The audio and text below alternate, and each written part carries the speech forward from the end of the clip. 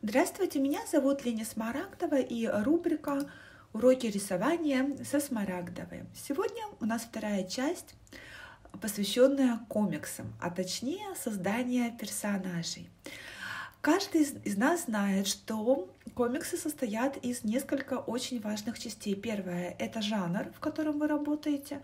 Второй момент — это главные герои, фон, то есть все, что у нас находится сзади героев и все, что окружает героев, начиная от э, пространства, заканчивая э, различными природными объектами и непосредственно сюжет.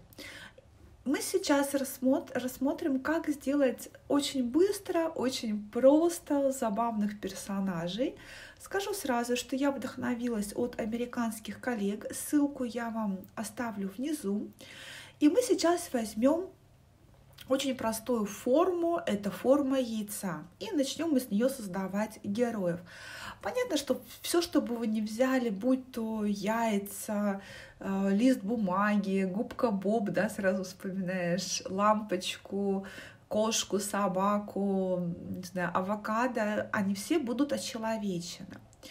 И сейчас мы с вами видим, как создаются вот эти самые простые персонажи. Они прежде всего основаны на геометрических фигурах. Именно поэтому самая простая форма это форма яйца или круга. Здесь я беру в том числе геометрические фигуры и потом уже природную форму в виде банана. Что здесь очень важно знать и уметь? Э, необходимо в любом случае в данном стиле рисования базовые, э, базовая, поставленная базовая техника рисунка. Это геометрия, это пропорции и небольшое знание анатомии. Именно когда вы перерабатываете лица, вы все равно знаете, где что должно находиться. Но вот именно из природных форм или э, каких-то бытовых предметов создавать героев максимально просто, потому что здесь не требуется каких-то дополнительных навыков, кроме э, знания геометрии и пропорций и, и немного знания анатомии лица, да, вот, ну, то есть лица, но, ног, здесь всегда можно обыграть, если вы нарушаете где-то э, пропорции, ну, это ничего страшного, это может быть ваш конек. Я осознанно не стала брать героев комиксов Marvel по той причине, что там необходимо знание, идеальное знание классической анатомии, классического рисунка по построению а, человека, зданий, а, предметов. То есть это вот ближе к такому жесткому реализму. И прорисовывание одного героя может занимать э, очень много часов.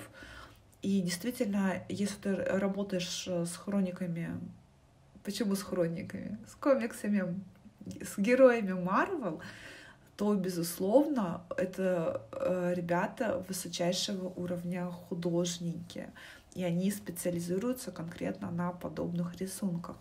Сейчас мы с вами видим, как э, заканчиваем, доводятся до деталей какие-то мелкие э, нюансы. Здесь я делаю все в произвольной форме. И как вы видите, здесь абсолютно все построено на геометрических фигурах. И э, достаточно просто начать это делать. Ну, обратите внимание на мелкие детали. Здесь я добавляю объем за счет микроштриховок, за счет микролиний. Безусловно, здесь уже необходимо уметь работать с объемом и придавать форму, то есть вывести из плоскостного рисунка э, в объемный. Так что это, я думаю, что это просто те, кто только начинает рисовать, вы должны просто тренироваться, не пугайтесь, ничего тут страшного, а, просто очень много практики у вас получится. Возможно, вы найдете какие-то свои формы героев, но всегда начинайте вот с самого простого, то есть оглядываетесь. Сейчас у нас будет несколько посложнее. Как вы видите, здесь идет основа немного на классическую анатомию лица. И когда мы рисуем лицо, то мы создаем такой, как, как это, крестик, который станет нашим позвоночником а, нашего рисунка, той самой базой. И как вы видите, что центральная ось у нас с вами идет а, вдоль лица, а глаза находятся а, чуть выше, чем а, горизонтальная, горизонтальная, да, или вертикальная, горизонт, горизонтальная линия. И здесь мы уже тоже опираемся на анатомию, но она здесь достаточно упрощенная. Как вы посмотрите, что уши у нас Э, начинаются, если возьмем верхнюю точку, с э, линии, которая проходит по середине нашей горизонтальной линии и заканчивается там, где будут идти глаза, и заканчивается там, где у нас э, начинается рот, ну, вернее, как раз вот эта линия рта. Это анатомические приемы. Здесь также учитываются элементы понимания рисования черепа. За счет этого у нас, опять же, а, создаются прически, они у нас не плоские, а достаточно объемные. И здесь действительно необходим вот этот дополнительный навык знания базовой анатомии по строению черепа человека. Сейчас мы с вами берем абсолютно разные формы лиц. А, вначале это был у нас такой овал, потом э, такой, не знаю, как перевернутая клизма, да, Я не знаю, как это по-другому сказать.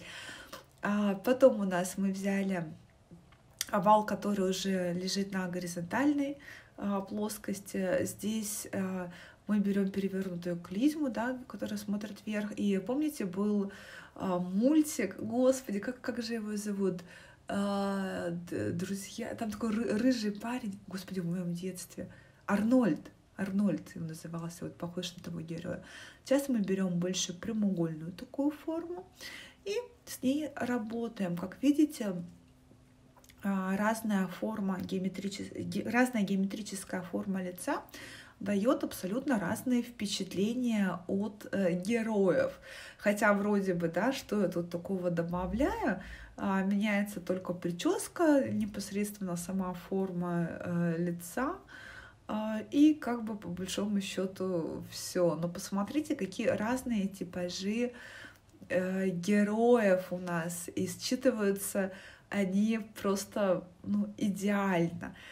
И сейчас самое главное вам начать рисовать. То есть здесь я поняла, когда я уже монтировала это видео, что э, в половине не видно, я перекрываю своей рукой процесс э, рисования, но, ребята, исправляюсь, я все-таки юный блогер, и, ну, дальше лучше я учитываю свои какие-то косяки. Я понимаю, что вам хочется смотреть не на руку, которую э, все перекрывает, да, а все-таки на сам процесс. Э, я с этим приму к сведению. Следующая наша урок э, будет как раз, э, я надеюсь, э, с более правильного ракурса взят. Обратите внимание, что я добавляю здесь детали, а такие микро-микро линии. Как раз здесь у нас знание объема, пригождается знание анатомических каких-то моментов, потому что здесь уже такая легкая анатомия, и без нее никуда мы не денемся. Если вы посмотрите э, на принцип этих рисунков, это ближе к американской и европейской школе. Э, она несколько отличается от российской. К сожалению, я российскую плохо знаю, но у меня почему-то ощущение, что это все время какие-то карикатуры. А сейчас мы с вами порезвимся. И в третьей части мы с вами будем создавать персонажей абсолютно на бум. Обратите внимание, что здесь я уже не выстраиваю никаких э, линий дополнительных, что здесь идет такой именно произвольный рисунок, и я вам советую обязательно потестировать его, сделать э, огромное количество своих персонажей. И тоже обратите внимание, несмотря на то, что я здесь не создаю линии, но в моей голове очень четко э, зафиксирована привычка понимать анатомию и понимать объем. Это меня спасает, э, когда я не делаю никаких построений. И сейчас еще, когда вы закончите смотреть урок, а, я вам скинула ссылку на шаблоны для комиксов. То есть там уже созданы рамки и созданы облачка. И вы можете просто распечатать. Э, я взяла это тоже у девочки, э, коллеги.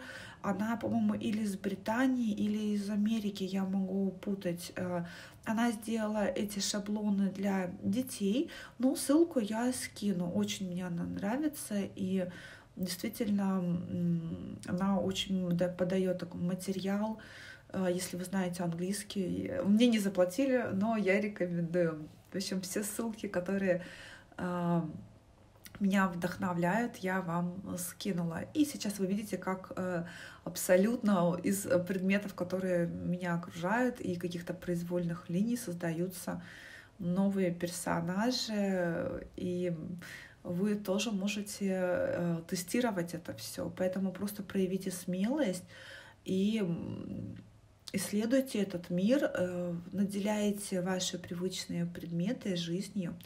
Если вам нравится то, что я делаю, ваши лайки, комментарии и обратная связь э, даст мне вдохновение и поддержку. Я буду чувствовать вашу любовь, что все не зря, все не зря.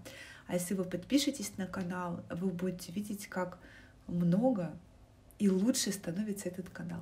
Что такую-то фигню сказала, да, в конце.